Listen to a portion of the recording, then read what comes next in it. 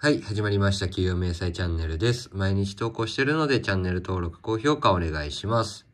今回は福岡県の理学療法士正社員15年目37歳の方の給与明細です。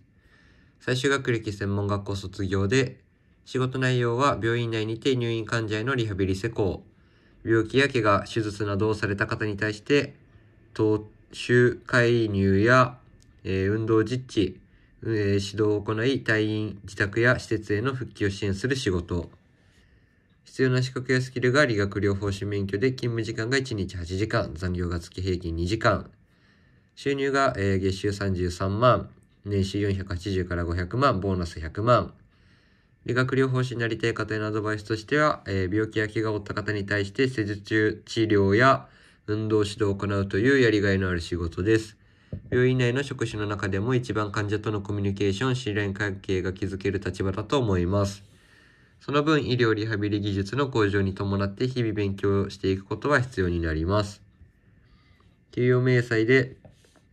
基本給が28万、あ、23万8200円。暫定手当2万3000、職種手当3万、世帯主手当1万、住宅手当1万3000、時間外2800、日祭日手当6000、被服費2800、えー、など、まあいろいろついて、総支給が34万553円。そこから控除引かれて、手取りが25万104円となっています。えー今回は理学療法士の方の給与明細でした。まあ、勤務年数も15年と、まあ、結構長いんで、えー支給もいい感じに、えー30万超えています。で、手取りも25万っていうのは本当に、まあ、なかなか存在しない上位の、上位何十パーとかの方なんで、まあ、本当にすごいなって思います。えーまあ、えー病院とかで働く仕事の中では、まあ、